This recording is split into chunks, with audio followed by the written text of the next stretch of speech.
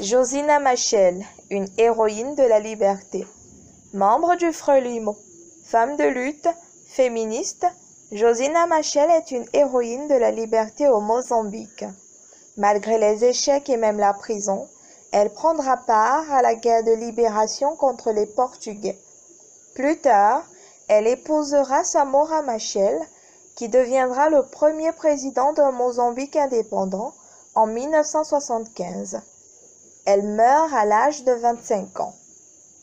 Un an après sa mort, le Frelimo déclare le 7 avril, jour de sa mort, journée de la femme mozambicaine.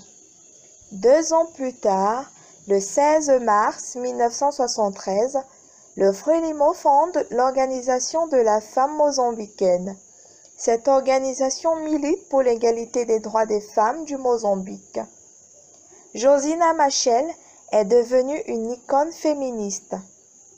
Après l'indépendance du Mozambique en 1975, son nom est donné par le Frelimo à de nombreuses rues, places et installations.